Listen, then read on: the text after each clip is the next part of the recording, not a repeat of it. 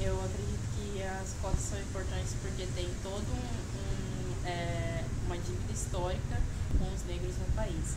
Então, tipo, é, tem muita gente que não vai ter tipo, a possibilidade nenhuma de entrar numa universidade por ampla concorrência.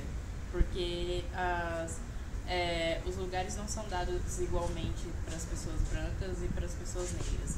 Então, tipo, para um aluno ensino médio chegar no ensino médio é muito difícil um aluno negro. Um aluno negro e pobre é mais difícil ainda. Então, tipo, se para chegar no ensino médio é muito difícil você permanecer, para você chegar na universidade, tipo, sem nenhum, nenhum tipo de cota, tipo, não seria justo